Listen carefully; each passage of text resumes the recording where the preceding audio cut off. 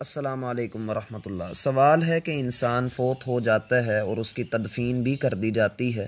اس کے بعد اس کا حساب کتاب قبر میں ہوتا ہے یا روز جزا اس کا حساب کتاب لیا جائے گا۔ بسم اللہ الرحمن الرحیم۔ رسول اللہ صلی اللہ علیہ وسلم کا فرمان ہے، سنن ابو داود اور سنن نسائی میں صحیح صنعت کے ساتھ موجود ہے کہ جب بندے کی میت کو قبر میں رکھ دیا جاتا ہے تو اس کے پاس دو فرشتے آتے ہیں اور دونوں ہی بڑے خوفناک انداز سے اس کے پاس آ کر اس سے پوچھتے ہیں کہ مر ربک، آپ کا رب کون ہے؟ ما دینک، آپ کا دین کیا ہے؟ من نبیک اور آپ کا نبی کون تھا؟ آپ کا رہبر اور رہنما کون تھا؟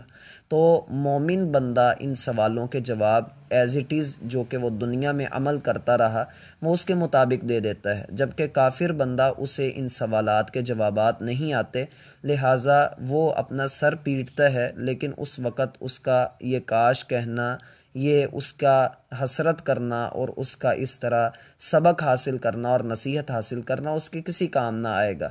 اور علماء صلف یہ بات کہا کرتے تھے کہ جو بندہ فوت ہو جاتا ہے، در حقیقت اس کی قیامت بھی قائم ہو جاتی ہے۔ لیکن یہ ان کا اپنا ایک قول ہے۔ ہم اس کو فقی اعتبار سے نہیں لیتے، لیکن نصیحت کے اعتبار سے ہم اس کو قبول کر سکتے ہیں۔ قبر میں جب بندے کے ساتھ یہ معاملہ ہوگا تو قیامت تک کے لیے، اس کے لیے اگر وہ نیک ہے تو اس کی قبر کو اللہ رب العزت جنت کے باغات میں سے باغ بنا دیں گے اور اگر وہ بد ہے تو اللہ رب العزت اسے عذاب قبر میں مبتلا کریں گے۔ پھر جب روز قیامت اللہ رب العزت جزا اور سزا کے فیصلے کریں گے تو پھر بندے کی پچھلی ساری زندگی کا تفصیل کے ساتھ حساب کتاب ہوگا۔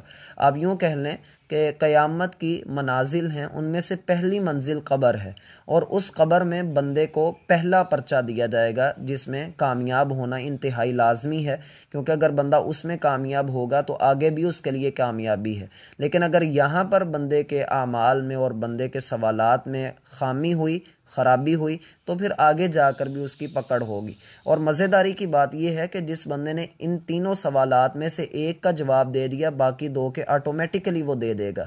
لیکن جس بندے کو ایک کا بھی جواب نہ آیا، اسے باقی کسی کے بھی نہ آئیں گے۔ اس لیے بندے کو عذاب قبر سے پناہ بھی طلب کرنی چاہیے اور خاتمہ خیر پر